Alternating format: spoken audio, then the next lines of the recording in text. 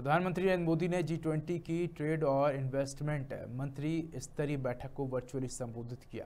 उन्होंने अपने संबोधन में कहा कि एमएसएमई 60 से 70 प्रतिशत रोज़गार देता है और वैश्विक सकल घरेलू उत्पाद में 50 प्रतिशत योगदान देता है और उन्हें हमारे निरंतर समर्थन की आवश्यकता है।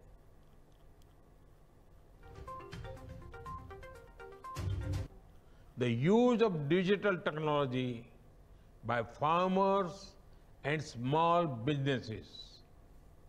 We can establish the framework to build a global digital health ecosystem.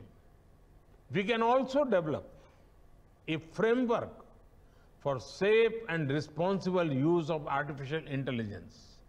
Indeed, we can build an entire ecosystem for technology based solutions to address the challenges faced by humanity.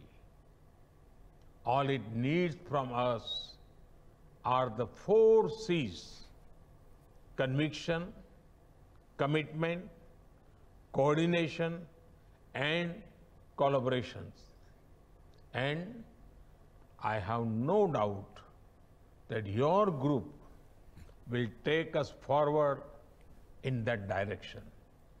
I wish you all a very productive discussion.